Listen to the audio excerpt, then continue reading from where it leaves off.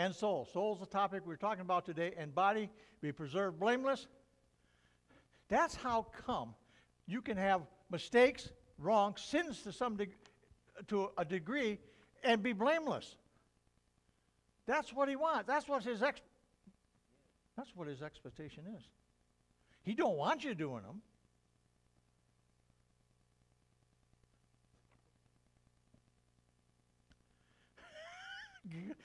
I'll tell you, we're going to have next week's sermon just absolutely remodeled this week.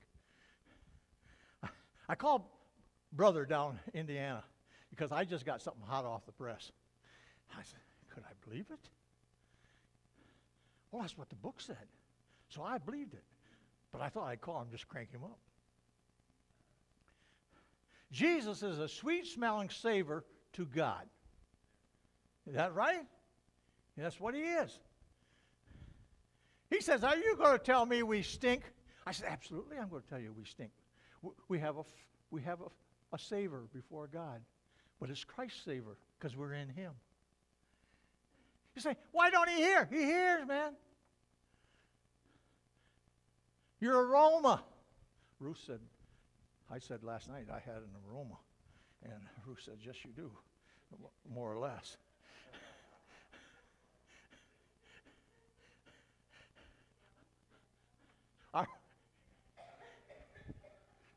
We're on. I got to watch what I'm saying.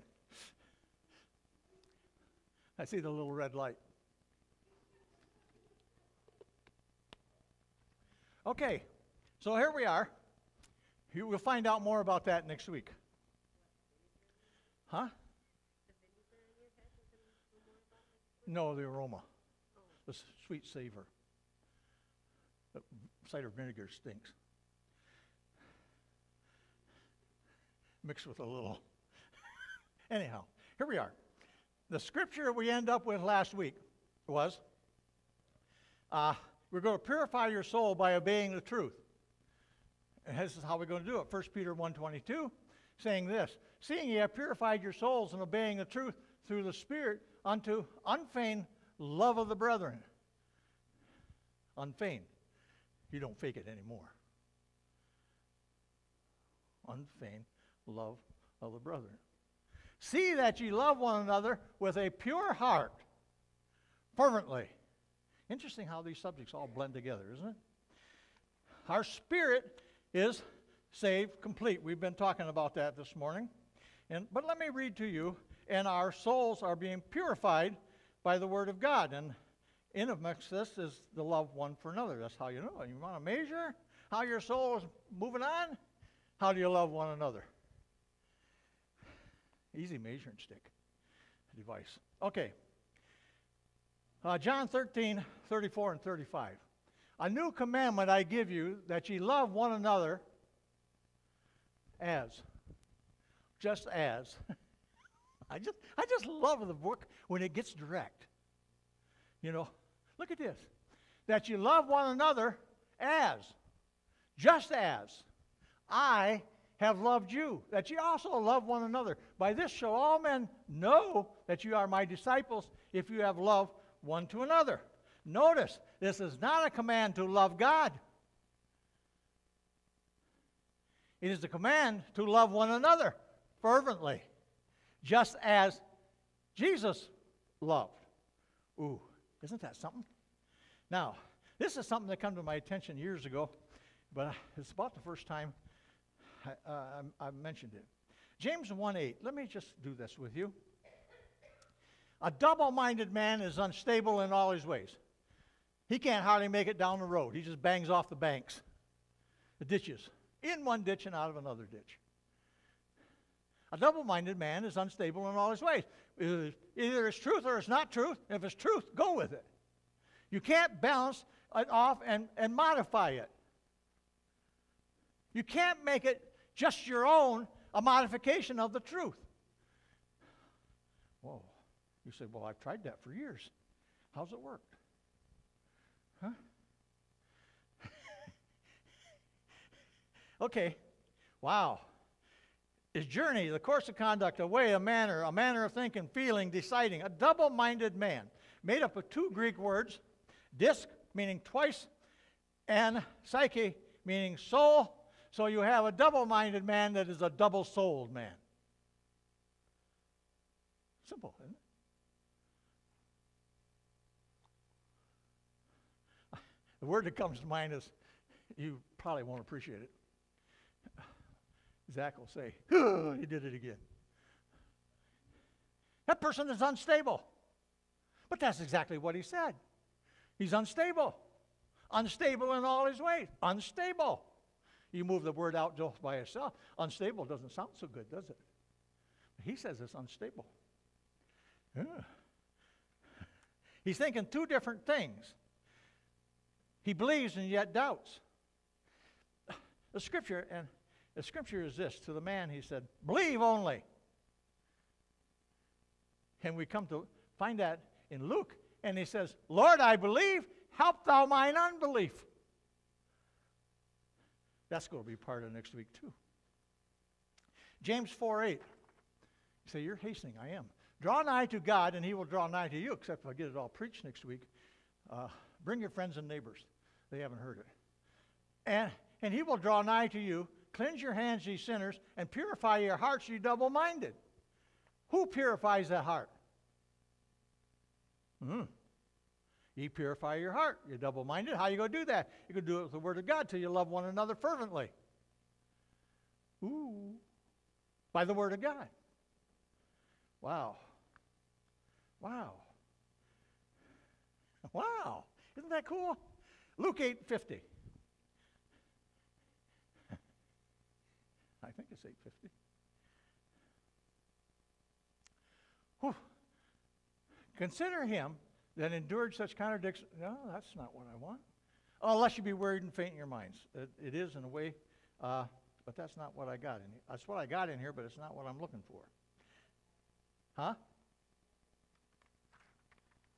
Oh, and when Jesus heard it, he answered him, saying, Fear not, believe only, and ye shall be made whole. See that word whole? You know what that word is in the Greek? It's the same word we use for salvation. That word is sozo. It's healed, delivered, on goes the grist of things, prosperity, all these sort of things is in that word whole or being made whole. Get the set of notes and, and look at it. Now, are you worried and wearied? Wearied. Any uh, weary? You worked all night? You worked all night? Are you weary? okay. I, I, I told your husband this week, I said, when she first started coming, I said, she looked kind of tough in the morning. I said, but she don't look so tired anymore. Oh, don't work so hard. All right. All right. All right. All right. Are you wearied and do you faint in your minds or your souls? Hebrew 12 3 says this for consider him that endured such contradiction of sinners against himself, lest you be wearied and faint in your mind. Consider, think, ponder. Ponder him. He took abuse, conflict. You consider him, and lest you be wearied and faint in your minds. Now, let me add this. I, I've got it broken down here. Let me read it to you. Consider, study, ponder, deliberate, deliberate, examine, understand, comprehend, think upon him that endured such contradiction of sinners continually against himself, lest ye be wearied, toil, tired, sickened, and faint, relax, exhausted, weakened in your minds, your soul. You see, fainting takes place, you thought it took place in your body. Fainting takes place here first. Control, controlling our thinking controls our endurance. Anywhere who is weary and prone to fainting has already been thinking wrong. You say, well, after a while, you just get tired. I, I agree with you. But it shouldn't be in a normal few hours. No. It's not what happens to us on the outside that causes these reactions, it's what happens to us and the inside. Wow. Fainting takes place in your mind. We will not withdraw. We cleave by trust in him unto eternal preservation. Listen, listen. Uh, Hebrews 10:39. For we are not of them which draw back unto perdition, but of them that believe to the saving of the soul. Now see here, whoopsie daisy, the saving of the soul. It's, pos- it, it's not only possible, you do make inroads in purifying and saving this. Interesting, isn't it? To the saving of the soul. Wow. The Amplified, let me just read the Amplified and we'll move on to this. Uh,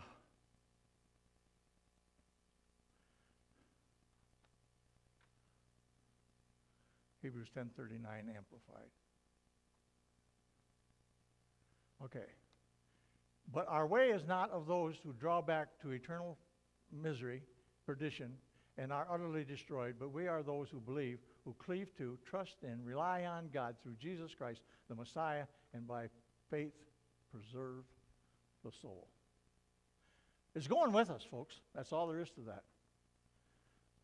It's going with us. The body we leave behind, but we get a glorified body. Isn't that interesting? Are you all ready for this? Paul says we currently have the mind of Christ. And you say, where is it?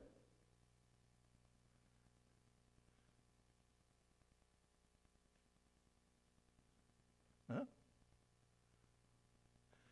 1 Corinthians 2:16 For who has known the mind of the Lord that he may instruct him? But we have the mind of Christ. Is that true? Well, we have the mind of Christ. Strong says we have as a possession. What an awesome statement. To have any portion of God's wisdom bestowed upon us or transferred to us. We have the mind of Christ. The mind of Christ knows how much? All things. Interesting, isn't it? Some people say, if you look at my school grades, there's something wrong with that.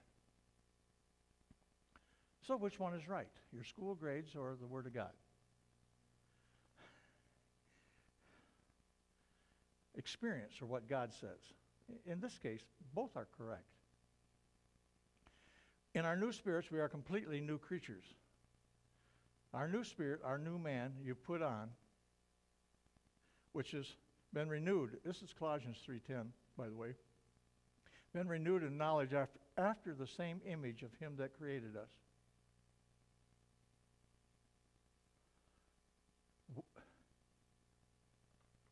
Is that what it says? Hmm? Okay, I don't know. I didn't have this highlighted. 1 John 1.20, we might throw in for good measure. Uh, that will cause them to scramble for a moment. 20. Uh, 120, I think. 220, excuse me, I'm wrong. I take full responsibility. Chris was warning me this morning. She said, I'm going to check all these out. And then I spoke them wrong. For we have an unction from the Holy One, and what do we know? All things. An unction, unction of the Spirit from the Holy One that knows all things. That Spirit is in you. Okay. I'm on, uh, I'm on the bottom of page three. The special, I'm, I skipped to there, I think. Uh, spiritual ministry, renewed mind, a renovated mind, and the measure of faith. Uh, Romans 12, 1 through 3. I quoted it to you a while ago uh, before we did other things. I beseech ye, therefore, brethren, by the mercies of God, that ye present your bodies a living sacrifice, wholly acceptable unto God, which is your reasonable or your spiritual or your service of ministry. And be not conformed to this world, but be ye transformed, transfigured, metamorphosed by the renewing of your mind, that you may prove was a good, acceptable, and perfect will of God. Wow, isn't that great? Hmm? Isn't that great? Amen. Thank you, brother. for I say. This is a conjunction. It's a different sentence, but it's a continuation of the thought here. It says, Be not, and I'm going to read it now, be not conformed to this world, but be ye transformed by the renewing of your mind, that ye may prove what is that good, acceptable, and perfect will of God. For I say through the grace given unto me, to every man that is among you, not to think of himself more highly than he ought to think, but to think soberly, according as God hath dealt to every man what? The measure of faith. The measure of faith. God, who dealt it? God dealt you the measure of faith. He doesn't have different buckets, different shovels, different spoons, none of those things. The. Many versions will say in, a, something. Now let me now let me read this to you with some of the words emphasized. And be not conformed to the same pattern of this world. Be ye transformed by the renewing, the renovation of your mind, that you may prove as the good, acceptable, and perfect will of God. For a conjunction, or continuing the thought of the prior verse, for I say through the grace given unto me to every man that is among you, not to think of himself more highly than he ought to think, but do think, do think from the correct viewpoint, as maybe as an example is, you're a joint heir with Christ.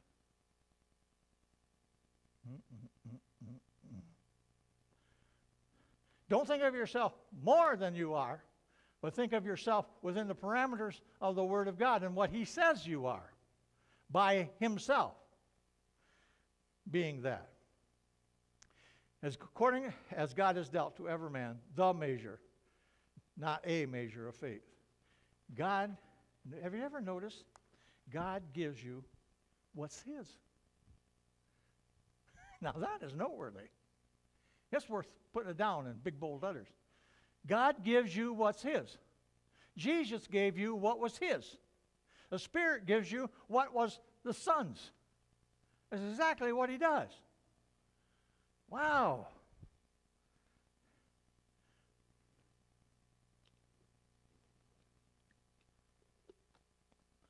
Excerpt. What I said I'd, I was going to give you an excerpt from, and I'm going to read this to you now. And after I'm done, we'll emphasize one verse. Our spirit and our soul and the heart and their interaction is based on your decisions, my decisions. This is a portion. Thoughts from the heart, from the soul, could, would include evil thoughts, evil treasures. The product out of, out of the heart could include both good and evil, depending on the degree of the soul's renewal that has taken place and is now in effect. It is possible to reveal, reveal an ebb and flow back and forth, depending on the extent of the soul's transformation or transfiguration, metamorphosis, or change. This includes the soul proving and conforming to the good, acceptable, and perfect will of God. Therefore, the variables of the heart are dependent upon the soul's decision. The soul is self conscious. Therefore, then, self and pride in self must recognize the Spirit as the supreme and only authority. For the Spirit only supplies stability to the heart or proceeds to reestablish God's original condition. We wonder why we are volatile, with a tongue out of control, a lack of consistency in our life and our actions. The condition, ready? The condition is simply due to the fact we do not have a pure heart, really a purified soul, psyche, mind, intellect, will, and emotion. 1 Peter 1.22, saying we have purified, seeing ye have purified, cleansed from defilement your soul and obeying the truth through the Spirit unto unfeigned love of the brethren. See that ye love one another with a pure heart fervently. This is a continuing process, a continuing decision or decisions. A pure heart is attainable by allowing the Spirit to supply the good things. Are you ready for the last sentence? So, two. The soul must remain dethroned and vote in agreement with the Spirit. What is in the heart, good or evil, is only there by your consent or your decisions.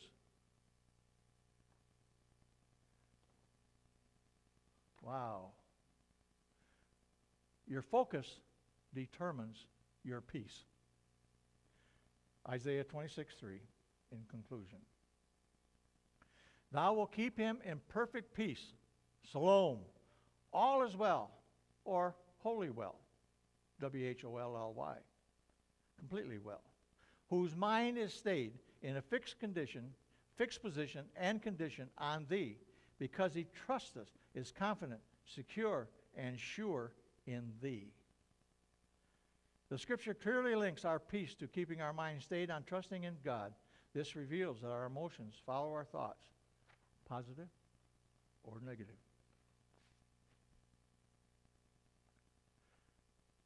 Father, the truth of the matter is before us. You ensure victory. We determine our focus.